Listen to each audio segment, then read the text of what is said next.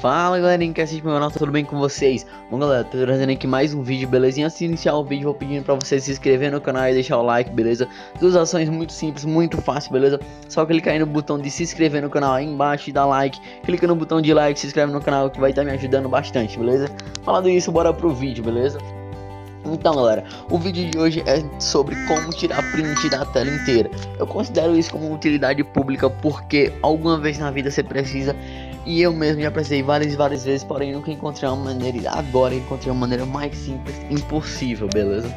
Bom, mas vai funcionar isso É só utilizar esse aplicativozinho aqui, o último aplicativo, beleza?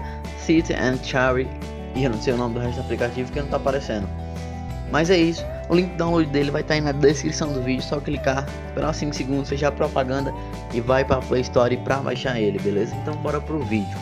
Bom, eu já deixei aqui o navegador aberto com a página, a página do meu cursinho. Como é que você vai fazer?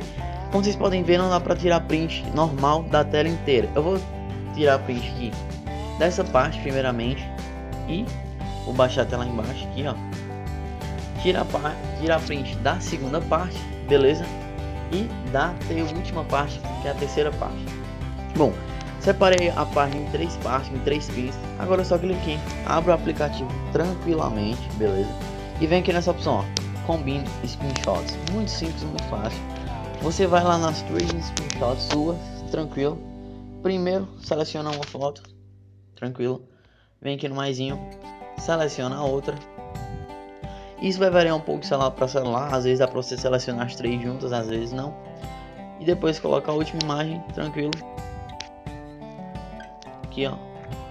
Última imagem, beleza. Tranquilo, ele já tá juntando aqui, ó. Juntando, combinando as duas páginas. E pronto, galera, já temos um print só, só um print, ó. Como vocês podem ver, isso tudo aqui é apenas uma imagem. Isso aqui é o cursinho que assino para Enem, beleza? Então pronto, depois de tirar do print da tela inteira, só clicar nisso aqui, save to card, ou então compartilha com alguém, ele vai estar tá salvando, tranquilo? Bom galera, o tutorial de hoje foi esse, beleza?